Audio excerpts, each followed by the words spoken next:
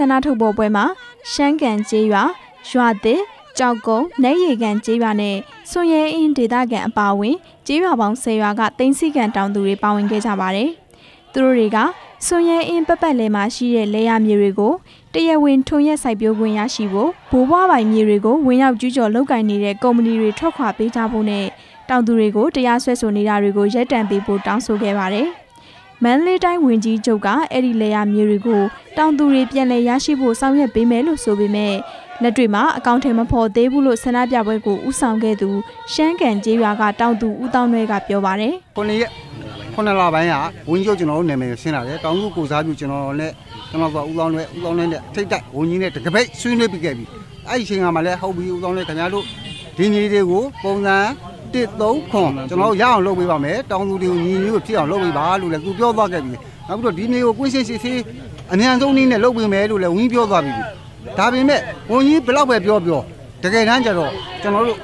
အောက်လက်အဖွဲ့အသီးအသီးရပါတော့ကျွန်တော်ဒီမှာကွင်းစင်စစ်စင်းမှုဆိုလုံးဝမရှိခဲ့ဘူးတောင်သူတွေဟာ ပြီးခဲ့တဲ့2015ခုနှစ်ကစပြီးထုံနှုံးတိုက်ပွဲတွေနဲ့အတူအဲ့ဒီလေယာမြေတွေမှာပြန်လည်ဝင်ရောက်စိုက်ပျိုးနေကြပြီဖြစ်ပြီးကုမ္ပဏီတွေကပိုင်နယ်ကျူးလွန်မှုအကျိုးဖျက်ဆီးမှုပုံမှန်၄၄ခွန်၄နှစ်ခွန်၁၄ကိုစတဲ့ပုံမှန်တွေနဲ့တောင်သူခေါင်းဆောင်9ဦးကိုတရားစွဲဆိုထားတယ်လို့သိရပါဗျ။စင့်ကင်မျိုးနဲ့တရားရုံးကကုမ္ပဏီဘက်ကိုပတ်လိုက်ပြီးတရားစီရင်နေတယ်လို့တရားရင်ဆိုင်နေရတဲ့စွန်ရဲအင်းကျေးရွာကတောင်သူဦးအောင်ရွှေကပြောပါတယ်။ရင်ဆိုင်နေတဲ့အတိုင်းဒါလဲကျွန်တော်တို့ဘက်ကပြက်ကွက်မှုမရှိပါဘူး ပြက်ကွက်မှုမရှိတဲ့အတိုင်းဒါပေါ်မှာအခုသူတို့က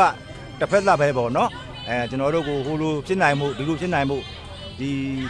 ခရိုနီကုမ္ပဏီတွေနဲ့ပေါင်းပြီးတော့သူတို့တရားရေးနဲ့ပေါင်းပြီးတော့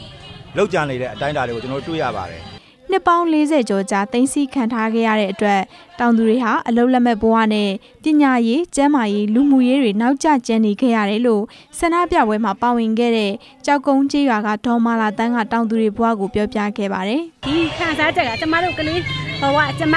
စီးနကိုနဲ့ဆနဲ့တမီးကကျမအဲ့လောက်အရွယ်လေးမှာကျမတို့ဒီမီတွေကိုတိတ်သွားပါတယ်တိမ့်သွားတဲ့ခါမှာကျမတို့ရက်ရွာအမြဲတမ်းဆင်းရဲကုန်ကြပါတယ်ကျမတို့လည်းကျောင်းနေခြင်းလို့မနေခဲ့ရပညာရည်လည်းမတက်ခဲ့ရဒါကြောင့်မို့ဒီဆန္ဒပွဲဒီကျမတို့ဟာတောသူတောင်သားဆိုတာစာမတက်တဲ့ခါကျတော့ဒီမြေစီးမှာကျမတို့လှုပ်ရှားမြန်မာနိုင်ငံဆိုတာလေမြေမြေရလှုပ်ဆိုင်မရှာတဲ့ခါကျဒီမြေရကိုကျမတို့လှုပ်ကန်ရမှာလေကျမတို့ကဒီလှုပ်ကန်ကွဒီကျမတို့ရဲ့စားဝတ်နေရအဆင်ပြေပါလေအဲ့ဒီလေယာမြေတွေကိုဗတ်စုံစိုက်ပျိုးမွေးမြူရေးခြံစီမံကိန်းအတွက်ဆိုပြီး1982ခုနှစ်ကတည်းက